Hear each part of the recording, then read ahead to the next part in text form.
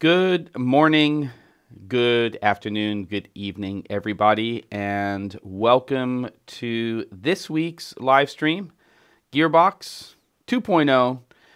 And I'm happy to be here, and I'm happy that you're here. Uh, a little bit of housekeeping before we start this episode. First, let's just acknowledge that there is a tremendous amount of things going on in the world, many of them which I am not happy about.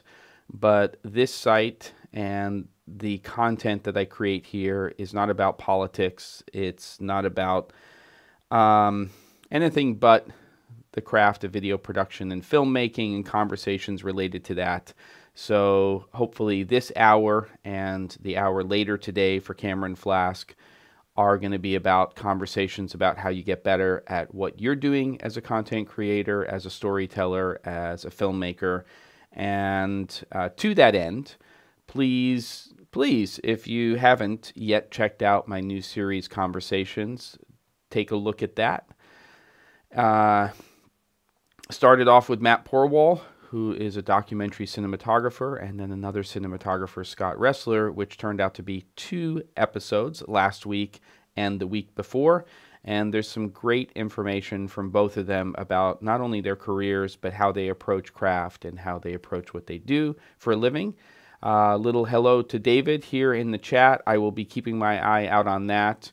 And today we are going to be talking about some stuff. It's going to get messy because one of the things that I'm trying to do here is start to work out how I'm going to be doing educational content live on the channel. So I'm doing that on a very small scale today with this particular live stream. I want the chat to be lively, so if there are people here, please come over uh, and into and start the conversation with the chat. I am also just going to fire up the watch page here and make sure that I can see that I'm getting a feed and that everything's okay and it seems to be all right. And if anybody's in the chat and can let me know if it's all right, that'll be great. Um, and we're going to sort of get into some stuff here. So, like I said, it's going to be a little bit messy today. It's not going to be your standard kind of straight uh, forward stuff. And I'm also realizing that uh, if I don't log in through, yeah, there we go. I think we're okay. So uh, let's talk. Let's go over some stuff and kind of start to talk a little bit about specialty lenses and where and when you might want to start thinking about them. And though the title says this is about Fujifilm, it's not really just about Fujifilm. It's really about thinking about using lenses that you can um, use in your productions. Whoa! Hopefully, with better autofocus, and uh, and and you know when you might want to think about those because different people will gravitate to using different lenses for different reasons. Obviously, if you're going into a production, and I would say that if you're in the corporate world, one of the most common things to do is to use a zoom lens. It gives you the ability to quickly and easily change focal lengths. It will allow you to, um, you know, if you're using it, let's say in an interview situation, use it as a variable prime, which essentially means that you're not seeing the change in focal length within a shot. So you're starting an interview with somebody at, let's say, on your A camera at a 28 millimeter focal length. It might be a wider shot. You're seeing a little bit more of the space. Um, maybe they're sitting down and you're seeing just below the knee line. You can see all of their movement and their action. And then as the interview progresses, you start to, in between the questions that are asked, change that focal length and go to um, a longer focal length. So David just got the uh, 16 to 35 f2 recommended uh, that I recommended. Loves it. That's great. Um, very versatile lens, great focal range, and definitely something that would be beneficial in your toolkit. A lot of people will use on both APS-C slash Super 35 millimeter sensors and also full frame, the sort of, you know, the workhorse lens, which is the 24 to 105. and there are equivalents in terms of field of view for smaller sensor cameras. They just don't have the same depth of field properties. But when you're trying to establish location, when you are, you know, in situations where you really want to feel like you're there with somebody, then wider focal lengths definitely can make a difference in terms of the way you feel that shot is. If you start to go telephoto, you start to get into sometimes what people will call a, a portrait focal length, let's say um, around 85 millimeters, and you go longer than that, the world starts to become more compressed. Generally, you may be further back from your subject matter, and you feel as an audience member more distanced from that person it's almost like you're looking into it. And and so that doesn't always translate into feeling like you're actually there. You feel like you're getting somebody's interpretation of being there. And it generally feels like there's a camera. So choosing focal length besides the characteristics of a lens is extremely important in terms of how you want to convey the space, the world, uh, the environment for what it is that you're shooting, whether that's documentary, corporate, narrative, doesn't matter what it is. And so, what we're going to talk about today is we're going to talk about a couple of focal lengths and a couple of lenses that I think do fall into that specialty uh, category, not character, category, because they are not the lenses that you're going to go and reach into your bag on a regular basis in order to get a particular um, sort of like day in, day out look and feel for what you're doing. They're lenses that you would be using for very specific purposes. So, what I want to do is talk about those, and I'm going to talk about them in relationship to the Fujifilm ecosystem but this first lens that's right here, which is the 9 millimeter Laowa lens from Venus Optics, is also made in other lens mounts. And you can get this, for instance, in an E-mount. So you can use this same lens with similar, you know, uh, results on an E-mount. Uh, yes, I believe they do. But what you have to understand about the 9 millimeter is that this is for APS-C Super 35 millimeter camera systems. So Laowa uh, or Venus Optics, the Laowa um, lenses are also made in another focal length, which is 12 millimeters, which is essentially for a full frame camera a similar field of view. The lens isn't quite as small and it is designed for full frame cameras. So what you do is you you go to their website and you figure out what camera system you have and then if you're crop then you could go with 9 millimeter. If you're full frame you go with 12 millimeter.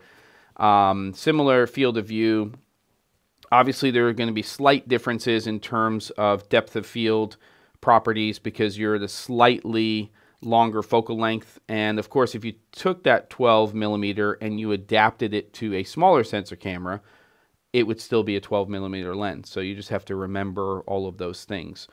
Um, f2.8 in terms of widest aperture. It's a manual focus lens, so there's no lens data being passed in this case to the X-T4. Um, and I think what I want to do is just sort of first talk about how I would set this lens up inside of this camera system.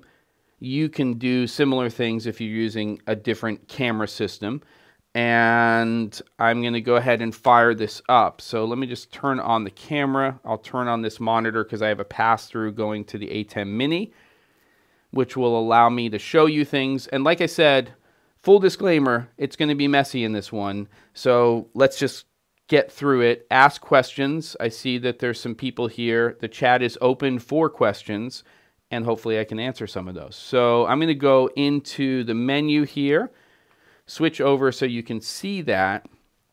And the first thing I want to talk about in relationship to this particular lens is IS modes. Whether you're using, well, a camera system that has uh, just any type of uh, digital or in-body in image stabilization, what you want to do is you want to turn that off. And the reason that you want to turn that off is, in my opinion, from the tests that I've done, there's no advantage to turning on in-body stabilization when you're using a 9 millimeter focal length of a lens. In fact, you're going to create more problems than you are solve problems because of such a wide focal length and field of view.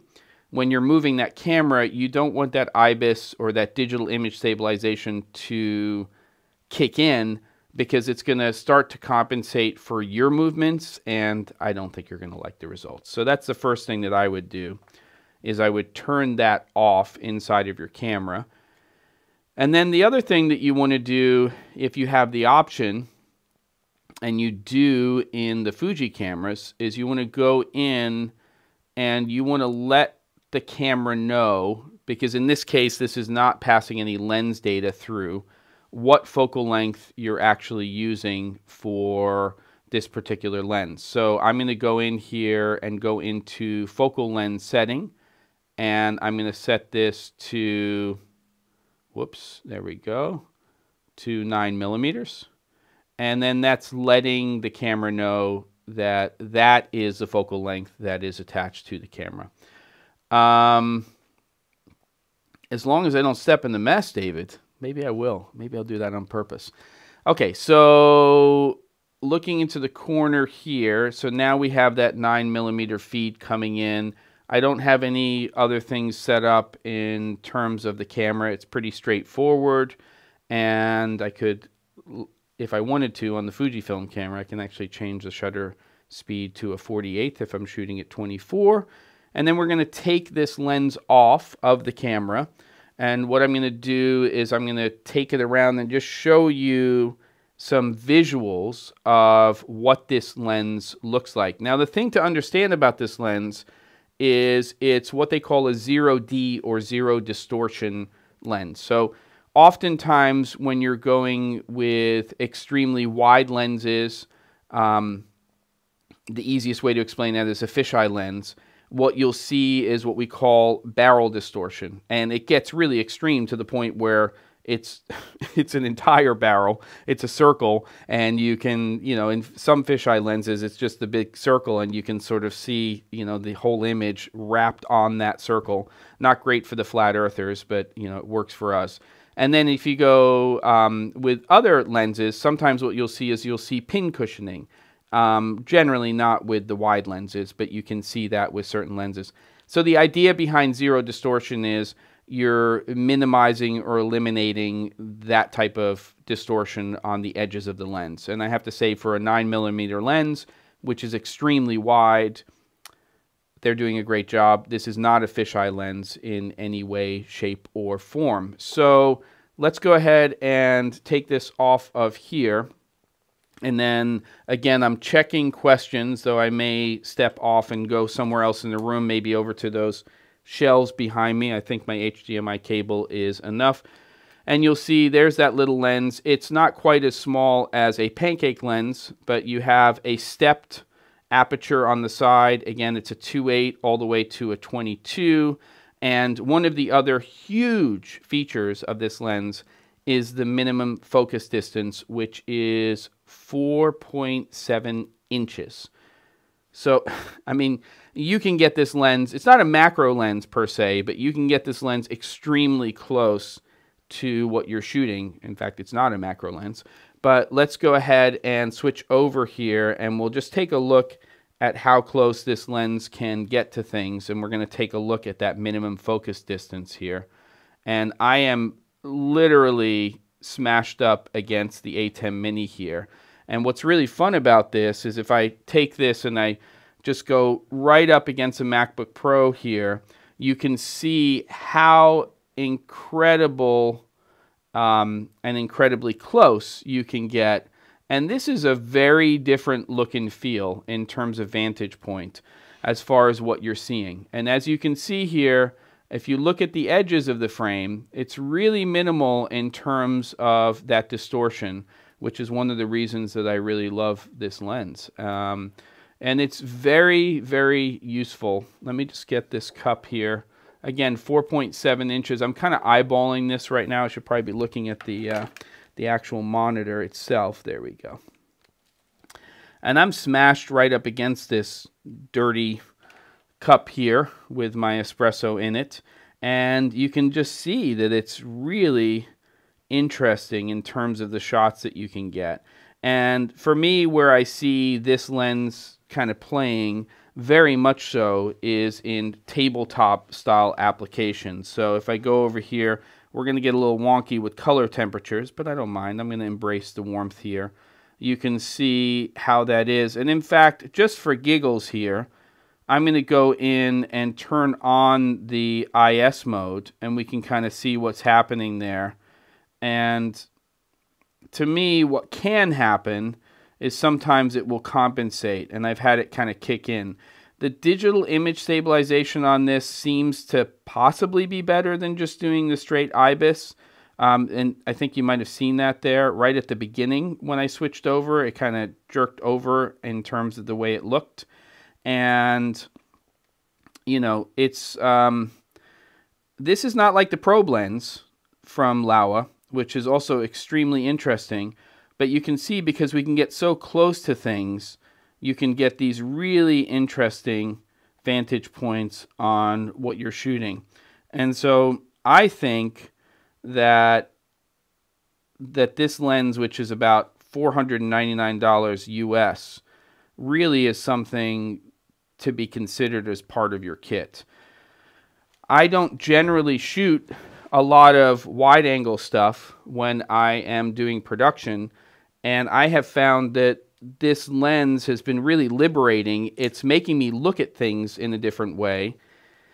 So it's one of the reasons that I really like the lens a lot. That was not a drunk cam. It's early morning, David. Behave yourself. Uh, it's all good. All right. So, any questions about this lens that you want to ask? Um, you know, I can talk about a couple more things related to the Laowa 9 millimeter. But basically, uh, construction of the lens is extremely good. In fact, I can turn off the camera and you can take a look at it. I'll lens this with something else so you can, and this will be sort of a, a eventually a segue into our next lens that we're going to be talking about. So I'm just going to throw the standard 50 weather resistant lens onto the XT4 right now. And we can sort of take a look at this if the AF kicks in properly. Come on, Mr. AF. There we go. So that's the lens right there. Let's uh, point it a little bit to the light so you can sort of see what's going on. And you can see it's extremely small. That's with the lens hood. And well built, all metal construction and seems to be a workhorse. I can't remember if they officially label it as weather resistant, but I have had it out in the rain and have not had any problems. That's not me saying go ahead and do that, but I would do it. And I think that it's uh, a well made lens overall. I don't see any kind of weather resistant seal on the back. That's where I'd be a little bit concerned. But if it's not bucketing down and you just got a sprinkle, I think you'd be okay. They also call it the C-Dreamer. Uh, 49 millimeter threading on the front. And speaking of that, one of the things that we should discuss also is ND because it is a lens that you may want to be using outside. You may want to use it um, during daylight. And I have found that when you are putting ND onto very, very wide angle lenses, wide focal lengths, that variable NDs can be very uh, problematic. They can be problematic. And you can see vignetting on the sides. And it didn't really matter which vari ND I got for this particular lens it seemed like I had a problem with all of them. So in the end, what I wound up doing was I wound up getting a um, a 1.2, so that would be four stops of ND as a fixed, and this one's by Gobe. Um, I think I'm pronouncing that correctly, G-O-B-E. I'll add that if I remember to the description. The other stuff that we're talking about is in the description.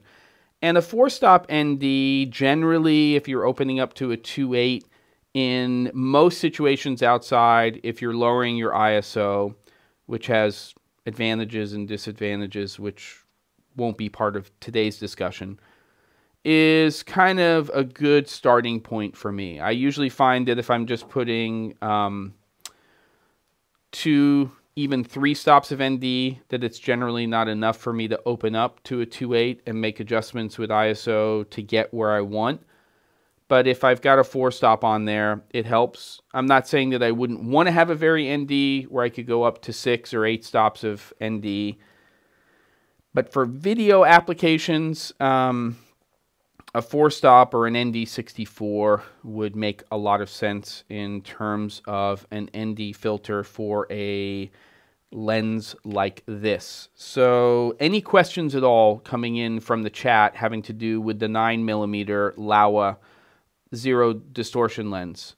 Um, what if you use a 77 millimeter Mar uh, vari ND with a step up ring? Still a problem?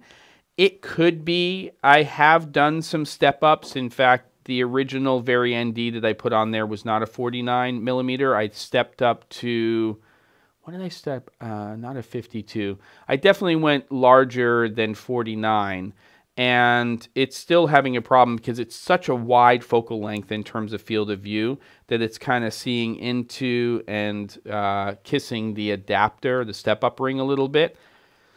Your mileage may vary, but I found that for this particular lens that that four stop was a good place to be. If I were going to pick two and I wasn't going to have a vari ND, I'd probably put a six stop in here as well. Um, I don't find that I'm normally going to eight stops of ND. It's definitely something that, let's say, let's say you're on a beach uh, midday, you're up on a ski slope. You might do that for video applications. You're generally going to those much higher um, stops of ND, especially in photography purposes. So what you want to do is you want to shoot at a very slow shutter speed, wide open, and uh, you want to do that kind of stuff. Obviously, you know, those are things that you have to consider. And when you are at a slower shutter speed, you're letting in more light into the camera. When you have a wider aperture, you're letting more light into the camera. And you know you want to take a photograph of a waterfall and or or any kind of moving object, and you want it to, um, you know, feel that way. Then it would make a lot of sense to get higher ND in terms of number of stops. But again, for video applications, I'm generally finding that for on the top end, eight stops of ND. There have been times when I'm shooting with Cinema EOS cameras where I do take advantage of that extended ND and I'll go to 10 stops, but it's generally in those um, situations that I mentioned before. You're in very high, bright, you know, sand, uh, light bouncing off of there, midday, lots of sunlight, uh, ski slope, you know, all white everywhere. Uh, situations like that where it, you know, in order to get the exposure that you want, you're going to need to go to those higher stops of neutral density. Um, good. And David says he's heard that Polar Pro makes great variable NDs. I haven't used any of theirs, heard of them, uh, but let me know what happens when you try them out. All right, any other questions on the 9 millimeter? Because I kind of want to end off on that. I think it's a great lens. I would not hesitate to get this if you like that look and feel. If you're shooting things and you want to have a different viewpoint of products and spaces and things like that, I also think it can be great for establishing shots and things related to architectural spaces, outdoor spaces, and I've used that on a, uh, a gimbal. And if you do like a low mode shot, it's really interesting. And because it's zero distortion, you're not getting that same viewpoint that you would get if you were using a fisheye lens. Let's say if you were shooting skateboarding videos or things related to extreme sports. And it just gives you a really nice clean look, but at a very wide angle focal length. And uh, again, you're looking at something that's probably, let's see, let's do the math here really quickly. Ba-ba-ba, uh, you're 9 millimeter, and I would say, yeah, so you're at about a 13 and a half Um, yeah, to about a 14 and a half millimeter field of view, equivalent to full frame 35 millimeter when you're using this lens. So even the 12 for full frame is even wider than than that if you're using it on full frame. So pretty cool. If that made sense, I think it does. This is a 9 millimeter made for crop sensor, which is going to be somewhere between a 13 and a half to 14 and a half millimeter field of view equivalent to full frame. If you got the 12 millimeter version of their zero distortion lens for full frame cameras, you would be getting an even wider field of view. Um, obviously, you can't use this on full frame because it's going to be vignetting. There's not the glass to be able to fill that sensor or that film plane size. Uh, hopefully that makes sense. All right, what else do we have in terms of questions? Hit the chat up with questions or anything else, please use an at the C47 if it's a question specifically for me. And uh, excited because as we're talking about questions, today's Cameron Flask at 3 p.m. Pacific, 6 p.m. Eastern is going to be your Q&A inside of the chat. So it's all going to be about Flaskers and everything else. So I'm excited about that. All right, so we're now going to move on to and talk about another lens, which is this one right here, which is the Sirui. And this is a very specialty lens. This is a 50 millimeter, inexpensive. Think it's coming in at about $700 now, uh, maybe 599 to 699 US dollars. 50 millimeter 1.33 anamorphic lens. So this lens right here is, and I apologize for the micro jitters there with the AF system, just because of the way I have it set up is uh, obviously a much larger lens. It's a longer focal length. There's a lot of glass inside of here, and this is not an anamorphic adapter. And we're going to talk a little bit about anamorphic lenses. It is an actual anamorphic lens, okay? So the reason that things look so funky there on the front of the lens is because basically what we're doing when we use an anamorphic lens is we're taking with optics the world and we're basically squashing more of the world into the captured image. That's one way of explaining it. I think it'll make sense once we go through everything. And I don't have a tremendous amount of experience shooting anamorphically. Uh, use more spherical lenses that are sort of the tried and true, where a 50 is a 50, a 35 is a 35, a you know a, a 23 is a 23 but it's very different when you're using an anamorphic lens. So I'm going to turn this camera on again, and I'm just going to give you a little bit of feed because I took two shots. It's really video, but they look like photographs yesterday um, with two lenses to sort of explain a little bit more about this concept. So let me just uh, get these ready for you and see if this makes sense. Great. Okay. So I'm going to feed this over to you. So this right here is essentially an uncorrected uh, capture of the 50 millimeter anamorphic lens. So just take a look at the field of view. Um, things may seem a little squashed, um, and they are, and they will get stretched out later on. Um, and we can monitor that when we're shooting with the camera, which I'm also going to talk to you about. And and then the next picture that we're going to take a look at, the one that's following, is with just a straight 50 millimeter a spherical lens, right? So this is just the 50 millimeter lens from Fujifilm. This is their weather resistant one. It's actually the one that's on the camera right now. And I'll go back again and we'll take a look at the 50 millimeter anamorphic. So you can see that the field of view is considerably different. Um, you may notice other slight differences in terms of characteristics, but I, you know, just wanted you to see the differences there. You're also not seeing a focal length in terms of what is on the uh, anamorphic lens, but this anamorphic lens does open up to an f1.8. So it's a fast little lens for what we're doing. So let's talk about, again, what we're seeing here. So If we go back, whoops, that's the footage we were rolling on before. If we go back here to the 50 and we look at the field of view, this is a 50 millimeter lens on an APS-C sensor. And that's how much of the world we're going to see on a 50 millimeter lens. Now, there are variables, just so that you know. There's a little bit of a misconception. If you take a 50 millimeter lens, even a prime lens from Zeiss, and then you take a 50 millimeter lens from Canon and a 50 millimeter lens from Fujifilm, and you put them all onto the same camera system, uh, or let's say we say a 50 Sigma, a 50 uh, Sony, a 50 Canon, uh, 50 Zeiss, and you adapted all of those to, let's say, a Sony A7 series, and they were all full frame uh, lenses.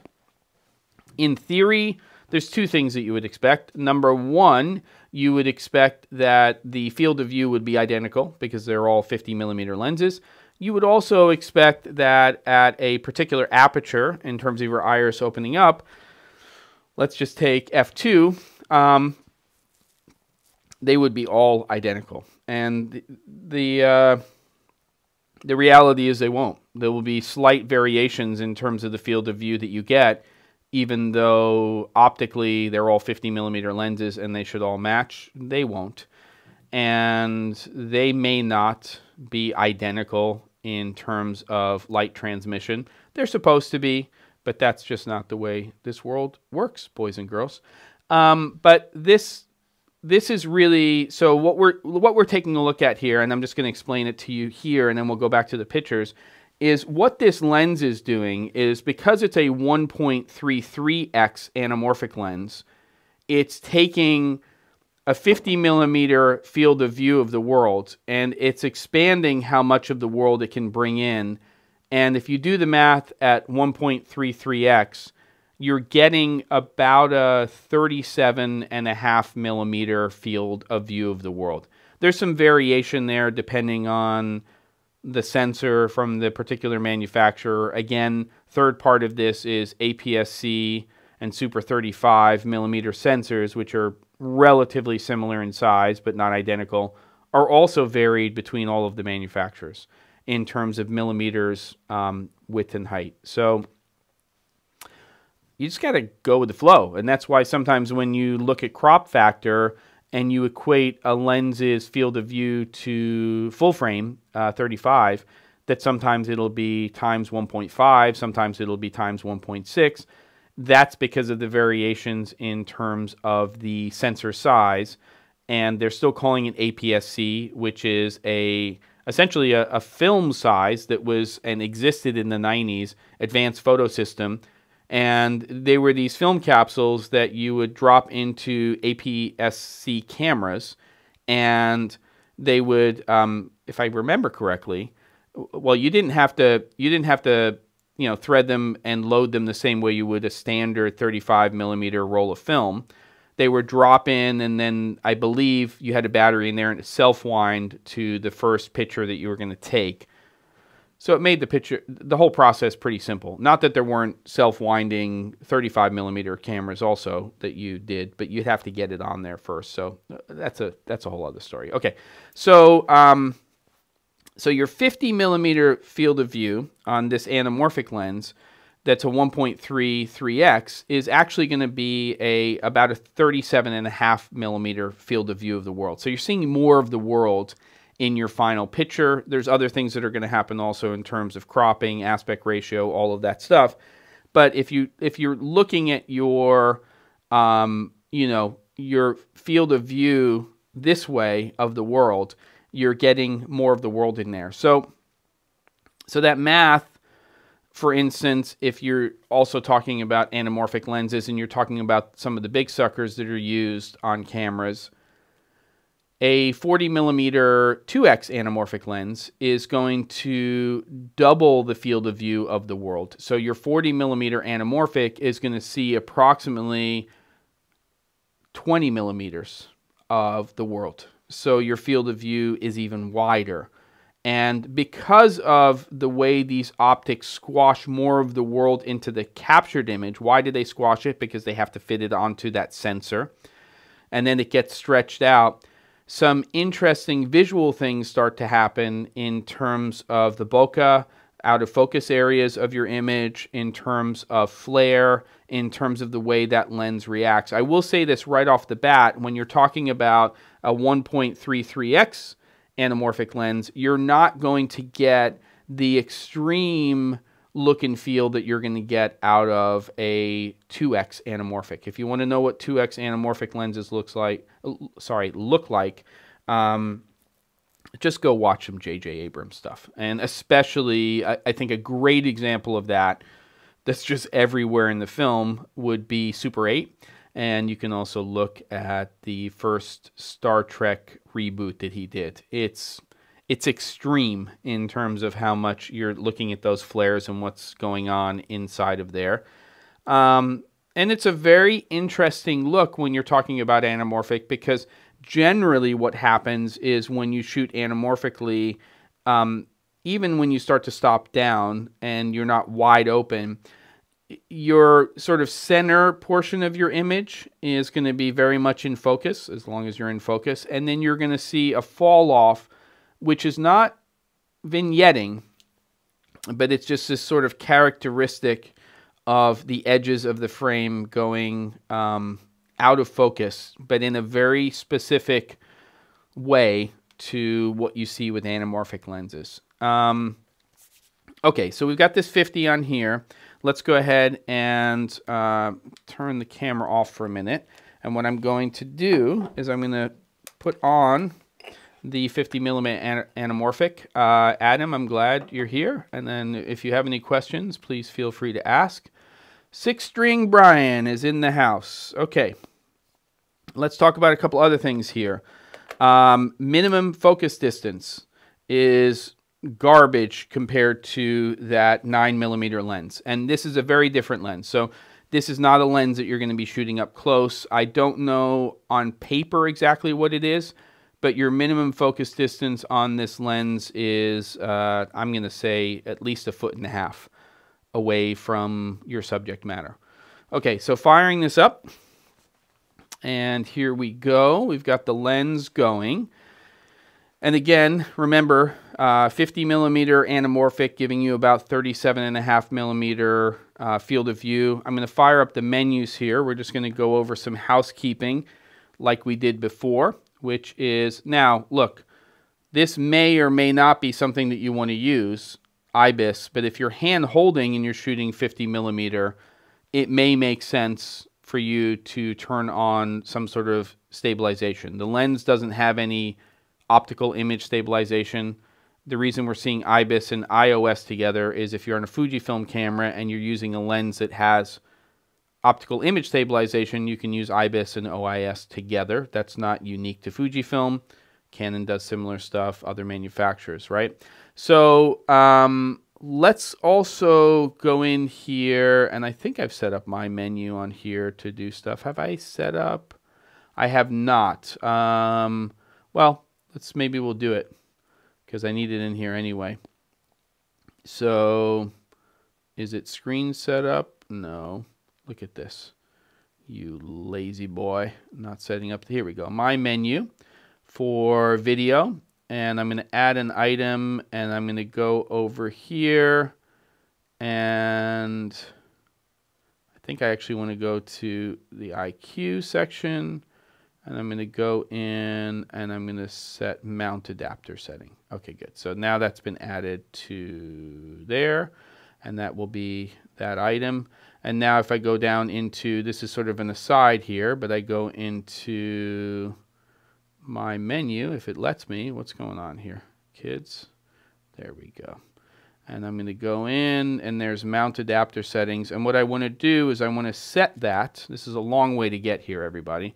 But I want to set that to 50 millimeters because that's the focal length that I'm using. Um, and that's basically the first step that we have to take.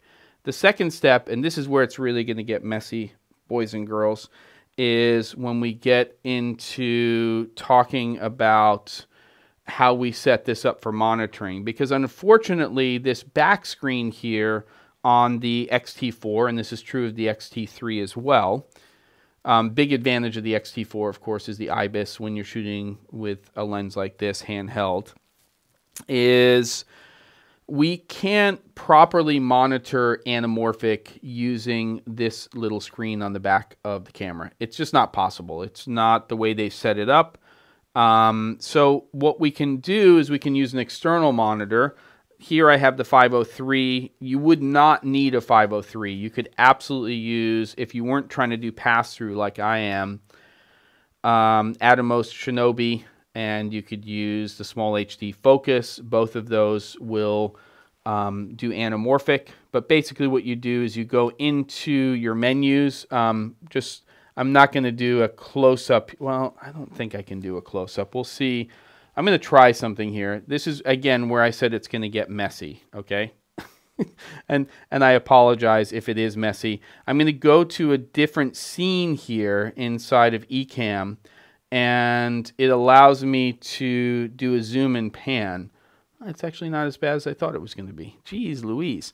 So going to go into the menus and inside of the setting menus here, if I scroll down, there is an anamorphic section and I can change this from 1x, which would be what I would have it set to for spherical, to 133, 15, 166, uh, 2x, so I'm going to choose 133 and choose that, and you'll immediately see that change. So let me just go ahead and turn that back off and turn that back on. And you will see that change in terms of the anamorphic lens. Now, the thing that you need to remember here is that we are not changing. Let me just get out of this now that we've done it. We are not changing the recorded image. Okay, that is not what's happening when we do this. I'm going to switch over. Sorry for the mic bump. We are changing our monitoring of the image when we do this with an external monitor. So our recorded image will still be that squozen anamorphic stuff. And when you get into your timeline in Premiere Pro, DaVinci Resolve, Final Cut Pro 10, you're going to have to set up that timeline properly for that 1.33x anamorphic footage. So um, for monitoring only, but it is giving you an accurate, essentially 239, 240, um, you know, aspect ratio in terms of what you're seeing with the the picture. And so it gives you confidence in terms of what it is you're doing in terms of framing, and you're not seeing this kind of stretched out squozeny image with what you're going to be shooting with. And that definitely makes a difference in terms of what you're seeing. And again, just kind of going back to these images here, when we're looking at these images, and we are looking at the differences, we're not looking at a corrected version of what we're capturing anamorphically. This is basically what's going down and being captured to the sensor. And then what I did is I set it up so that I can monitor that and take a look at it in terms of what it's going to look like when I bring it into a timeline. So let me see if I can just show you that quickly. I'm going to switch to a third feed here. Um, I don't know why it's not flipping, which is really annoying me, and I don't have it set up. It is supposed to be flipping, and it is flipping on my side, and I saw this yesterday. So I'm just going to show it to you this way, and just for, for giggles. So there it is, and that's what it's going to look like when we adjust for it in the timeline. And um, and there you go. All right, so hopefully that all makes sense. And uh, Shiz, this is the HS2. This is just a headset mic. It allows me to move around the space and just have a little bit more mobility. I'm using it with the Wireless Go. So any questions on that before we then fire up and take a look at some of the characteristics of the lens and what those are? I'm waiting for anything. Another sip of espresso while you get a question in. Okay, cool. So let's do it. And you just let me know if you have any other questions. I'm just keeping my eye out on the chat. So we're going to go over here. I'm not going to go too far away and we'll just make some little adjustments here and hopefully everything will work out just fine. And I'm just popping this onto something.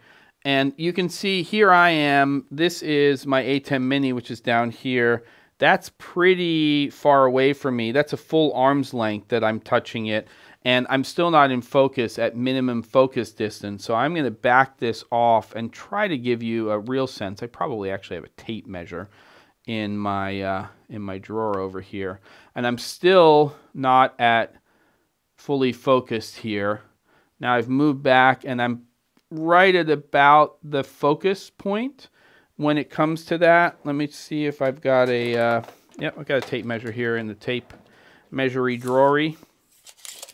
And from end of lens, we're talking about even more, two foot five inches. We're talking about two foot 10 inches to the sensor plane approximately in terms of minimum focus distance. Is there anyone you would recommend to see the lens in action specifically on APS-C cameras? I haven't seen any. well, there is some content out there. Uh, Cinema 5D has some stuff and things like that. So for sure. Um, good. Uh, Shiz, I also have the skin tone one. This is the black version. But look, I got a dark beard, so it seems to work. Um, I could sing, but that was a long time ago. Okay, so let's go ahead and I've got some. Um, of course, I do. I've got some flashlights and things like that, and we can talk about some gotchas uh, related to that. So we don't say that kind of stuff here on the on the live streams. You're pushing it. Maybe Cameron Flask. I don't think so though. All right, so let's turn off the key. I'm going to make it a little bit moodier inside of here. It'll just also make it a little bit easier to be able to see some of the flares. And let's kill this little backlight as well. And then let's see what we've got in terms of our image. okay, good. Let me just see. Again, wow, yeah, it's pretty pretty close in terms of our focusing, but I'm just going to get this pretty yeah, I'm a little bit closer. Okay, so I'll I'll let it I'll let it slide, but it's still it's well over 2 feet in terms of minimum focus distance and we just want to kind of take a look at this. We're not going to see, I mean, look, let me throw it out of focus so you can kind of see what the, the bokeh is like in terms of shape on this lens. And if this was a 2x anamorphic, it would be much more extreme in terms of what those out of focus areas would look like. I'll swing this around here so we can take a look at this. And if I, let's just drop the ISO. Ooh, look at that. if I boost the ISO, sorry for the mic bump, you can start to see some of those flares happening that we would associate with anamorphic. And I'll get the flashlights in and stuff too. But let's also just kind of reduce the ISO here and throw this image out of focus so you can start to see what some of those out of focus areas look like in terms of their shape.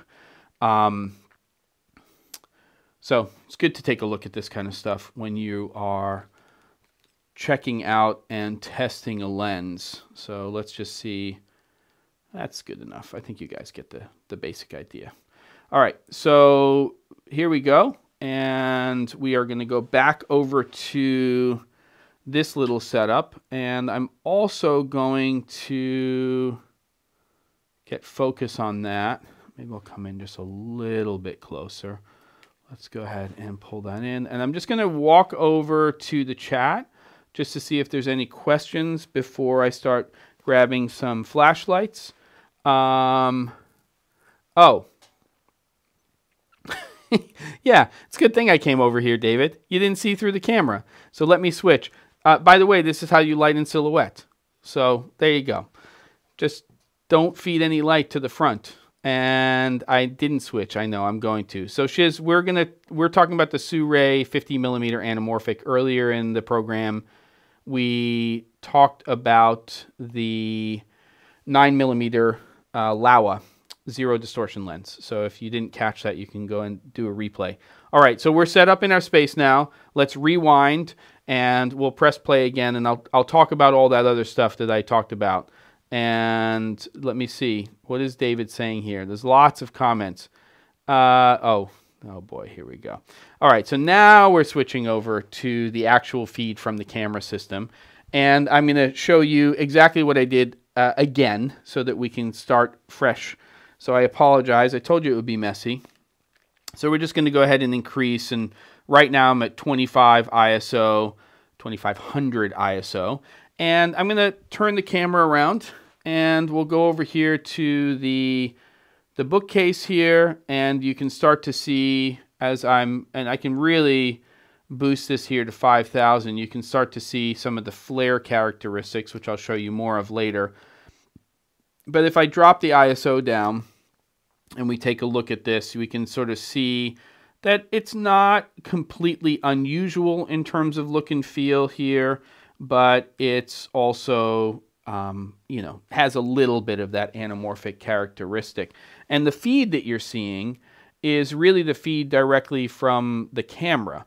So if I take my iPhone now, just to kind of show you again what this looks like here, and this is, it's kind of hard to do this, but we'll see if we can get it to sort of show you uh, a, a semi accurate idea of what the anamorphic image looks like.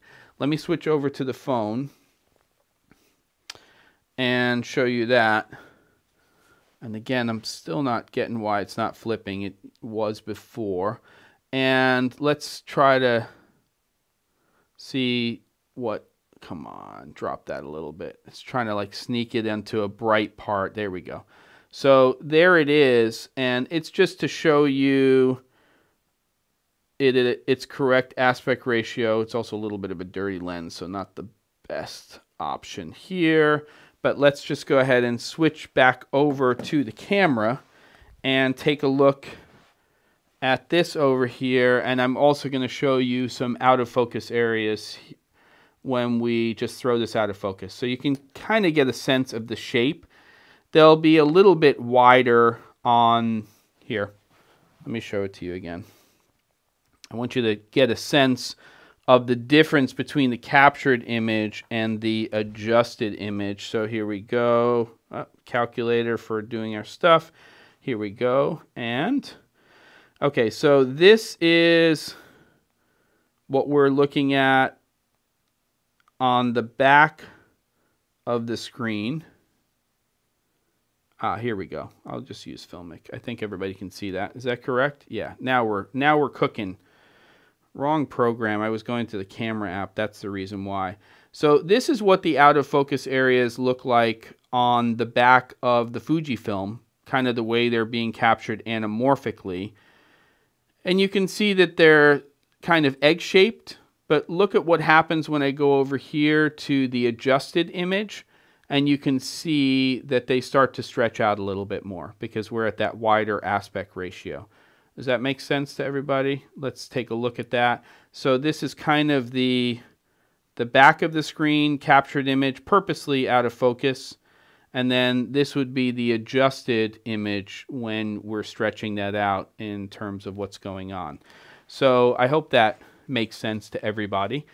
Um, and then what we're going to do, let's go ahead and grab a couple of flashlights so I'm going to first fire up a little Litra light, which is just multiple LEDs, and we'll turn that on. And we're going to start to flare the lens a little bit and start to see what happens with some of those characteristics in terms of how it's capturing and looking at that light and what it's doing, okay?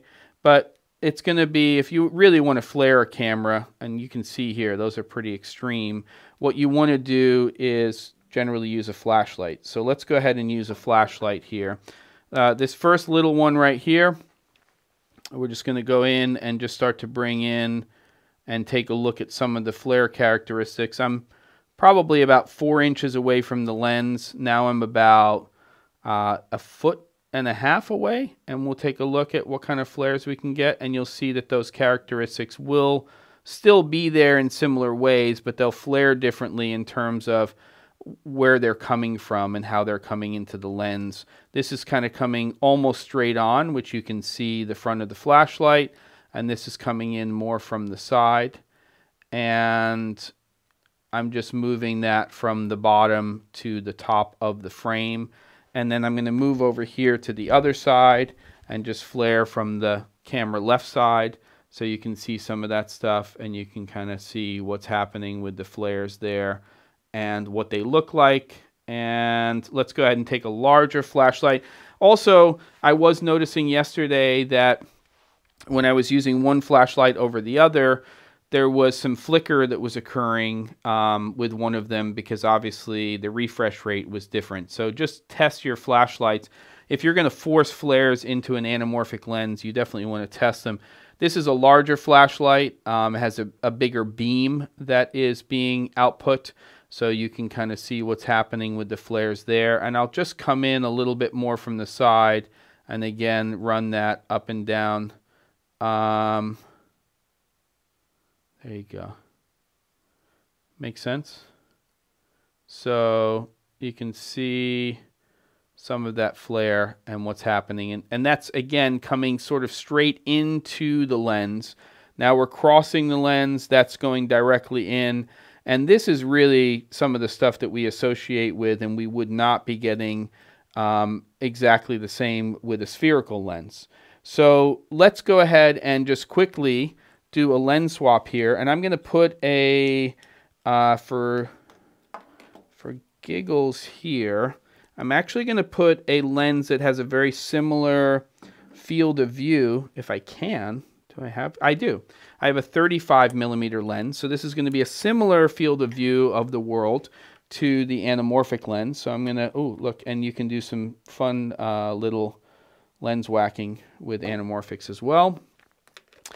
And we'll put that on and we'll open that up. And this is a, a slightly wider field of view here, but there's a 35. I'm just going to walk that in a little and you can sort of see what that looks like and we'll throw it out of focus. You'll see that the out of focus areas are a little bit different. And I'll take that flashlight and I'll start to shine that into the lens and take a look at the difference. I mean, that's, that's the flashlight right in the front. And I'm coming in from the side and I'm trying to get some of those same flares. And that's the type of flare that we would associate with a spherical lens as opposed to an anamorphic. Um, and I hope that is very clear. I mean, it's very apparent to me in terms of the difference as far as what we're seeing. And generally, we'd be shooting with this 35 millimeter lens for a 16 by 9 aspect ratio or 17 by 9. We would not be shooting for a like a 239 240 this is the other smaller flashlight here with a, a, pointier angle. And we can get some flares, but they're the kinds of flares that we would normally associate with sunlight coming in or a bright light source coming into a lens. And those are minimized or they are greatly enhanced based on the design of design of the lens and kind of what the manufacturer is trying to do. So let me go ahead and switch back to the studio space and we'll get the uh, the backlight back on and we'll get the key back on and then we'll wrap this sucker up. Uh, there we go. We're back. Okay, so did that make sense? Did you see everything? I apologize for not switching the first time a little bit of a brain fart. And by the way, just as a, an aside, while I'm looking to see if there's any last questions before we end the stream, uh, vari ND, and this is attached to the front of the anamorphic lens, and that seems to work just fine. We're at a 50 millimeter focal length, and um, 72 millimeter is the thread size for the front of this lens. You can absolutely use ND, which is another, by the way, advantage to the 9 millimeter that I spoke about at the top of the hour at the beginning of this live stream is that unlike a fisheye lens where you have a lens element that's sticking out from and you generally cannot put ND in front of that without a, um, uh, a matte box, you can absolutely do that with that 9 millimeter lens, which is another big advantage. Of course, if you want fisheye and that's the look you're going for, you're going to have to get a fisheye lens. So, any last questions regarding the 9 millimeter Laowa Venus Optics lens, the Zero-D distortion lens, or the 50 millimeter Sirui uh, 1.33x anamorphic? I'm happy to answer questions. Uh, Dom, the vari ND I'm using on there is a pretty cheap one. It's actually a Polaroid one. I generally use Tiffen filters. This one I just picked up when I had this lens come in because I wanted to have a 72 millimeter that was inexpensive while I tested it. It's um, it's okay. It's not bad. It's inexpensive and it seems to work just fine. Not totally neutral in terms of stuff, but I think that it's uh, it's an okay ND. But again, I would look at some of the other ones on the market. Um, you know, some of the higher end Tiffen ones I like for sure. Uh, David, is there something that would work on the C200 that's similar? And David, is that question related to anamorphic lenses? Um, if it is anamorphic, there are some anamorphic lenses that you can use but generally those are for the newer C500 Mark II, the C300 Mark III. Not a lot of anamorphics going on unless you're doing anamorphic adapters for the um, the other cameras there. And and a lot of people who are shooting anamorphic when we're talking about high-end cameras are doing that on sensors that are not a 17 by 9 aspect ratio. So they're um, you know they're uh, four three, I believe. They shoot open gate and they do that. Again, anamorphic is not my my wheelhouse. It's not an area. It's really I'm dipping my toes into it right now. Um, I would do a search for anamorphic C200. Remember that it is a 17 by 9 aspect ratio sensor. And one of the advantages to shooting anamorphic on um, the C500 Mark II is it's essentially a 6K sensor. And even if you're finishing in 4K, you're going to have to do quite a bit of uh, scaling and cropping if you are not using a full frame anamorphic lens, and most of them are super 35 millimeter that are on the market right now. So it's going to need that additional resolution if you want to resolve to 4K without image quality loss. So I'm saying a lot there, but that's just something that you have to think about. Um, yeah. So I think we're getting near the end, kids. We've covered a lot. Some of it was just as messy as I thought it would be. Some of it was a little less messy and kind of worked itself out. Realized that I kept launching the camera app, and that's why it was having a problem turning the image and giving you a full view, which is why I use Filmic Pro as my feed from the phone when I want to show everybody things in terms of what's going on here in the quote unquote studio space. Uh, we have Cameron Flask coming up at 3 p.m. Pacific time. Grab your leaded or unleaded drinks. It's going to be questions from you. So if you want to submit questions that are going to get put into the lineup and not put them into the chat, you can go to either the c47.com and fill out the contact form with your question. You can email questions at the c47.com. We already have one that's in from a regular viewer, and We'll see everybody later on. Hopefully, these little hours of time to learn and discuss are also important with everything else that's going on in the world. They're not more important, but we have to continue being creators and content creators and getting better at our craft and what we do. So um, I'm here to answer questions if I know the answers. And if I don't, um, usually I'll go find the answer for you. So thank you very much for coming to this particular live stream. And I know, again, there's a lot of people who are going to watch this on replay.